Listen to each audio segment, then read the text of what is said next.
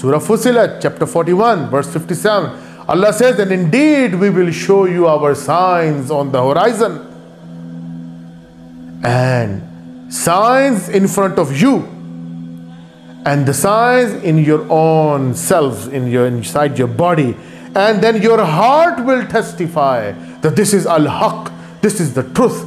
As Jesus Christ said that seek ye the truth, it shall set you free. Allah says your heart will testify that this Quran is the word of God.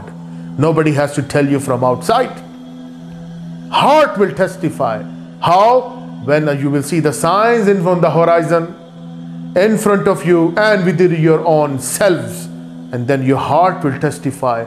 Allah says, Is the creation of the heavens and the earth more complex than you? Subhanallah. Of course, heavens and the earth is far complex, far complex than humanity.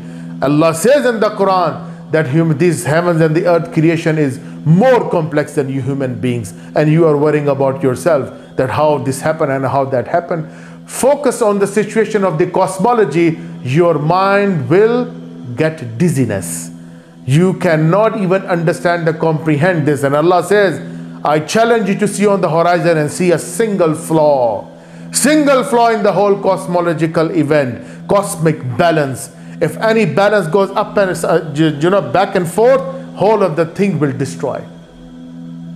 Give the say, let, let me give you a small example. Solar system.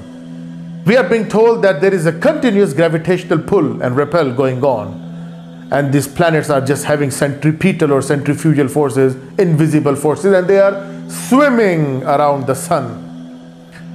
You see, if the sun loses the slight gravitational force, what will happen? The earth will start going away and it will become a dwarf, cold planet. If gravitational force of the sun just gets little stronger, it will suck the planet Earth into it and you will burn, you will be burnt, or you will burn like something like an ash or a microwave in a second.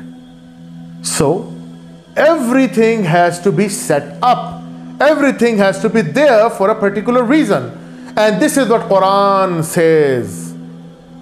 That was as-samaa rafa'a wa al-mizan.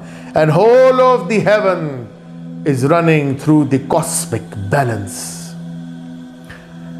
Who knew or who knows at the time of Prophet Muhammad about the cosmic balance? You won't.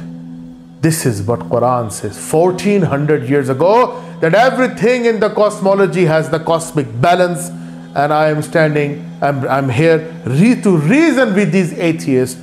Tell me who would have told Prophet Muhammad about the cosmic balance where those Arabs, patricidal of wars, matricidal of wars, fighting for little, little things, that even the one of the other clan came and drink the water from the well, they kill him.